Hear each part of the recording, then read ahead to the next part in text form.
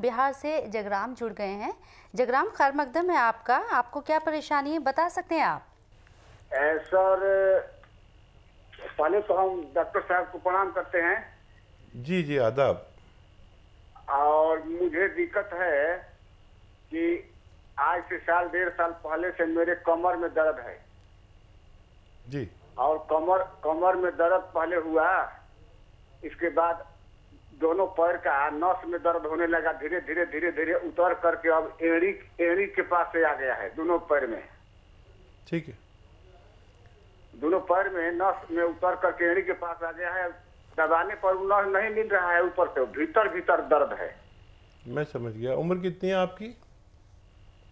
उम्र मेरा लगभग अंठावन साल के लगभग है। 58 ठीक है। तो देखिए जगराम जी आप कुछ हिदायतें और कुछ घरेलू दवाएँ से ठीक होना आपका मुमकिन है।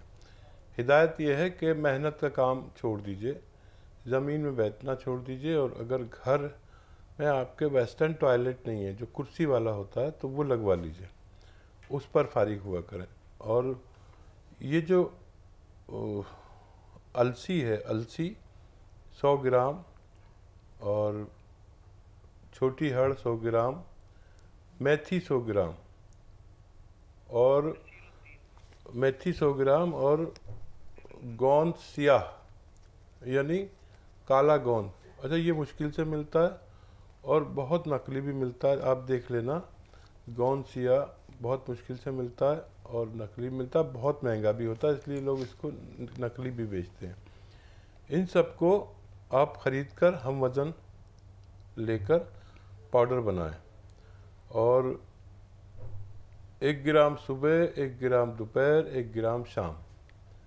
खाने के बाद पानी से या बग़ैर चर्बी के दूध से या जूस से, जैसे आपके हालात हों, उसके हिसाब से आप इस्तेमाल करें। अगर आप दो तीन महीने लगातार इस्तेमाल करते हैं और हिदायत पर भी अमल करते हैं, परहेज़ भी करते हैं, वज़न उठाने का और जो मैंने दूसरी बातें बताई हैं तो आपका ठीक होना मुमकिन है।